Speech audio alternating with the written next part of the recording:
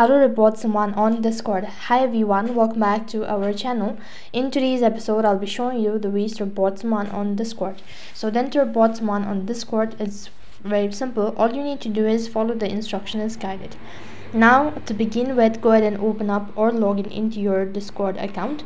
Once you're logged into your discord account it's going to take you to the interface that looks something like this so while you're on this page in order to report someone all you have to do is go ahead and open up the particular user's chat page or just uh, long press on their profile. And uh, as soon as you long press on it go ahead and tap the more option button.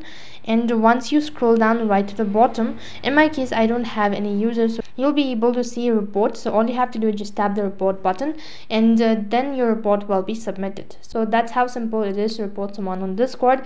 That is all for this video. I hope the video was helpful. Make sure to like share and subscribe to our channel.